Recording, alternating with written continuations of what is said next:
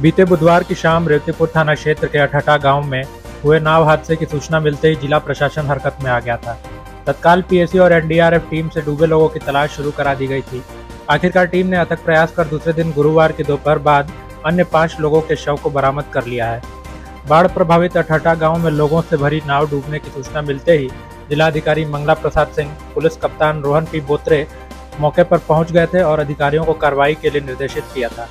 वहीं एडीएम अरुण कुमार सिंह पूरे rescue operation की मॉनिटरिंग स्वयं कर रहे थे।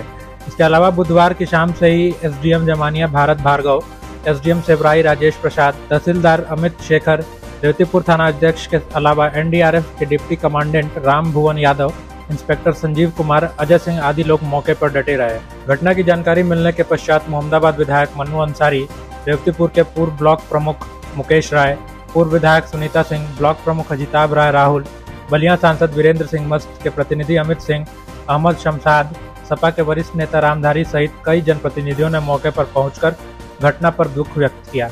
मालूम हो कि एडीएम वित्त एवं राजस्व अरुण कुमार सिंह ने ग्रामीणों को आश्वासन देते हुए कहा कि सभी मृतकों को चार चार लाख रुपए का मुआवजा दिया जाएगा।